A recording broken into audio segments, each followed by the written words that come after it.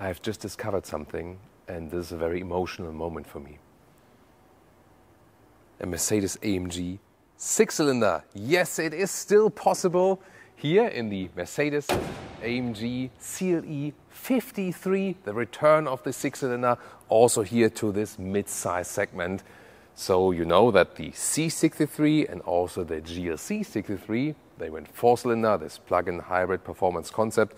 But here now for the CLE, the six cylinder is in place. And might this be the AMG vehicle to go for right now? Maybe. Let's find out together with Thomas Autogefühl in 4K, full screen, full length. Let's go here with the front. The CLE is this new coupe between C-Class and E-Class, basically merging both vehicles together. And here in this AMG version, we can see the Panamericana grille, so it's wider in the lower part, a little bit shorter in the top part, more aggressive look, vertical fins, AMG logo, and also uh, an aggressive lower part. Here, this is equipped with the night package. That means we have high gloss black elements. Otherwise, they would be brighter. And also, for example, high gloss black mirror caps there. The lights here equipped with the digital light, blue on the inside. This is also for more high beam performance.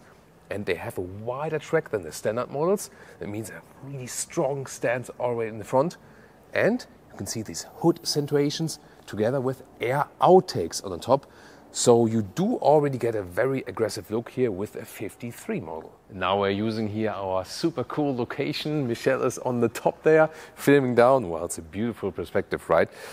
Sometimes automotive designers especially pay attention to how the car is looking from the top actually. And here this works very well. You can also see the wider track in the rear. Here just a wider hip area, very strong, and this typical coupe-like silhouette. This is where this vehicle is working very, very well. And the overall length is 4 meters 85 or 191 inches. Wheels come standard 19 inch. These are the optional 20 inch wheels in black matte, really impressive. And you can also get these contrasting red brake calipers, for example. And you get rear axle steering as standard, steers in the opposite direction.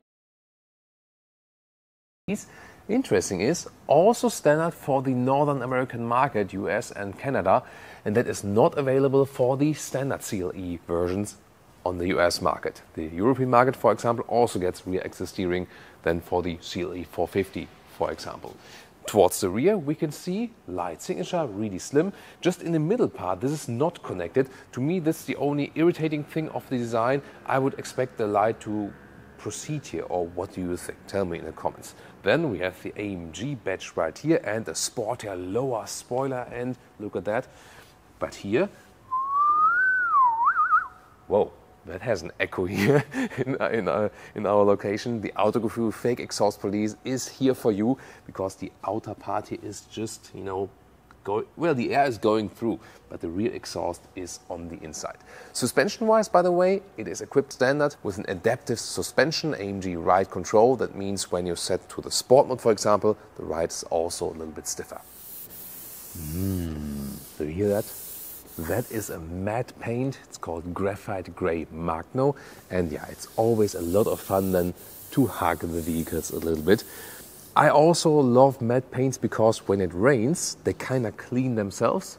The only disadvantage is when you have minor scratches on it, or maybe like a parking bump, which should, of course, never happen, then you cannot polish them. You have to repaint it. So that's the downside of it. But think I would still go for it. Would you? I would like to know from you are people making too big of a fuss about this fossil nothing? Or do you also think that a vehicle at that size and at that sportiness and that price definitely needs a six cylinder? So for me, it's always like I find that you either put a real engine in the vehicle, a proper one, also right size, or then you go all electric, but nothing like this, you know, four cylinder, something plug in hybrid performance in between. I don't think that makes any sense. This one does make sense. Here, the 3 liter inline six cylinder. In this case, then, with 450 horsepower, with an electric boost as well. This is like a mild hybrid technology. 4.2 seconds in the acceleration figure. If we compare this one here to the CLE 450, it is the same base engine, just that this one here is 0.2 seconds quicker and also is around 70 horsepower more, just in the figure wise. And it also has an additional electric compressor also interesting. And the all-wheel drive setup is a little bit different. This is here a more variable all-wheel drive setup they have for the AMG version. Still, you will remain in rear-wheel bias. Do you see that here, the red seat belt through the glass? Because this is a seat belt reacher there, and it goes back. And when I close the door then soon again, the seat belt reacher comes towards me. Zoom more to that. Here, this is the key fob. Really good quality, and then door closing sound is, I would say, standard. Most of the time, when we have frameless doors, it doesn't sound too good. There are very rare exceptions where it still sounds good when you close the door. Then, then inside of the doors, this is all you know wrapped tightly here with high gloss black and capacitive BS hashtag. So this doesn't give you a real haptic feedback. Not too much to my liking though. Then the optional Burmester sound system inside of the doors here, all hard pack. So yeah, what we see at the inside of the door, hmm, maybe not my most favorite. But here then, steering wheel is pretty cool. Also with the microfiber, they call it MicroCut. That's an internal brand name for that. Steering wheel also with capacitive controls. You see one button is that whole field then. This will be interesting here with the controls for the driving modes and so on. And we can have carbon fiber decor elements next to these illuminated and with clicking sounds, the air vents. That's always a nice feature. Seats look pretty spectacular. You get base sport seats. These here are the optional performance seats. So they have a wider shoulder area here. They are slimmer, they are stiffer, all covered with the microcut material, this microfiber. And also the outside is then the Artico, the high grade of the red. So this seat is actually, as they say, completely animal free. So also AMG going into a more animal friendly direction. That's actually quite cool. And the normal sport seat give you a little bit better, you know, softer cushioning as for comfort and so on. These ones definitely very stiff. I have to see it in the driving part how it plays out long term, but I would say spontaneously you would rather go for the base sport seat if you want most comfort. These ones would be more suitable for the racetrack and so on. Then headroom here with 189 or 6 foot 2. Look at that, still some headroom left. And there is this panoramic roof here, and you can still open that one. And I do appreciate that because we see so many fixed glass roofs nowadays, and this one is a very wide opening actually. And it also has this shade, it comes forward here now just a little bit so you can also put that shade completely in the front if it's really hot. In order to use this service you need online voice control. Please check your Mercedes Me settings. Look at that here, cool feature. You could put the lower part, a little bit longer of that seat here. And yes, you can drop your dirty comments right now, right here in the comments. um, yeah, it looks really spectacular, doesn't it? Works for the co-driver seat and also for the driver seat. Interior cockpit overview, 11.9 inch digital instruments, 12.3 inch rather vertical oriented screen, rather known Mercedes interior, some sporty features definitely like this microfiber steering wheel and here we can also see these controls here for the driving mode selector for example they also switched then in the screen that's pretty cool and on the left side I can for example activate the exhaust note. Not allowed to hear that one today yet, but we'll keep you updated with that, of course. So, for the user interface, especially with the controls here, it's actually quite good. Yes, the climate control is in the screen, but for that, it always stays here and it's relatively easy to use. Digital instruments feature the standard Mercedes look, but also sport mode. And now here for the AMG is also the super sport mode or even the track pace when you visit the racetrack. And also the head-up display is highly adjustable, race view, super sport, standard, minimal. I don't know what the infotainment system is telling me now, but here this is the settings for the head-up display. So you can also choose between all these options here. Infotainment system has this latest app view. We also know from the all new E Class, for example, so you can easier control everything.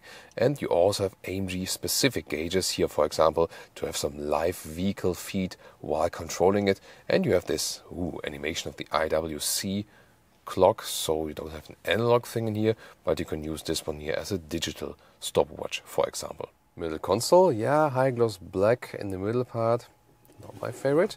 Here on the inside, then you have cup holders. They are somewhat adaptive, but they don't hold higher bottles tight. In the front, what's pretty cool, there's an inductive charging pad, which is also cool. It sucks away the hot air. The only thing is this rubber pad. Sometimes when you put your smartphone on there and then you put it out, you might take this one out with it actually. I like the split armrest here in the middle. That's pretty nice. And also have USB-C charging and the closing sound. Ah. Now it's time to tease me a little bit. Thomas in the rear seat, time codes coming up. So I pull this strap here, then the seat automatically goes forward and you can see, yes, you can also theoretically sit in the rear. But does that really work also for tall adults? Let's see. Also the nice microfiber on the rear seat. Let's see. I can crouch in. So it is kind of cozy in this dark hole here. Uh, headroom wise, yeah, I have to you know bow my spine a little bit down. Um, yeah, maybe for a shorter trip or something. But when I try to, probably should take off my shoes for that, just to be you know with good manners here.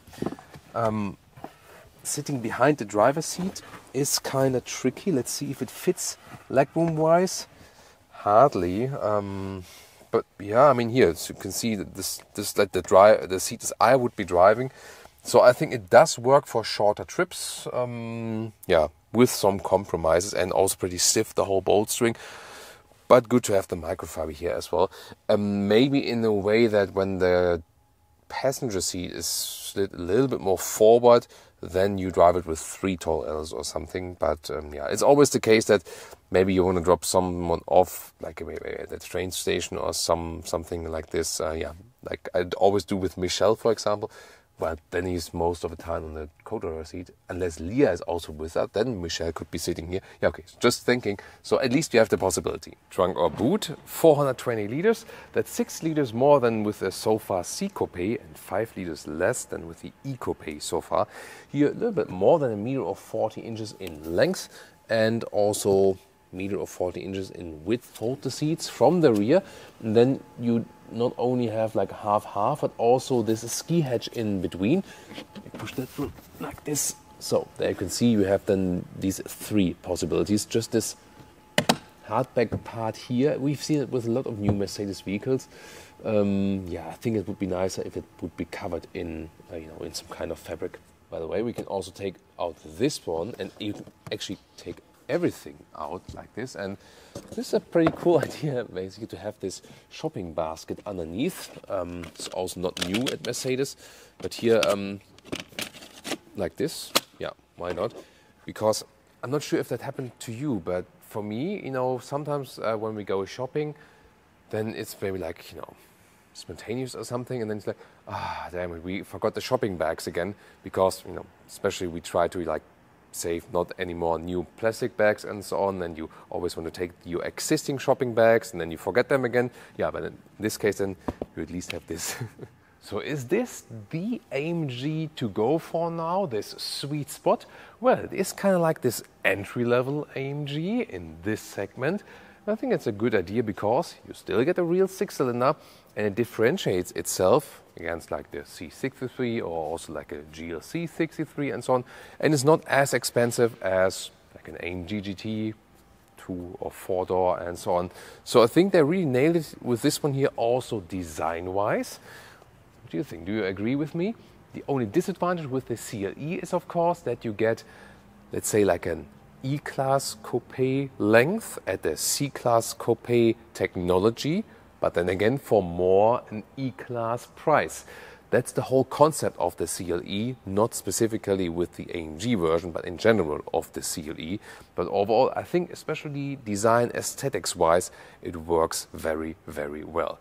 You should tune in to our CLE review where we've driven the CLE 450 and also present to you the coupe and the convertible, which we can also expect with this one here. And of course, there might be a 63 coming up. We'll keep you updated also here on our channel. And you can also tune in to the competitor would be the BMW 4 Series.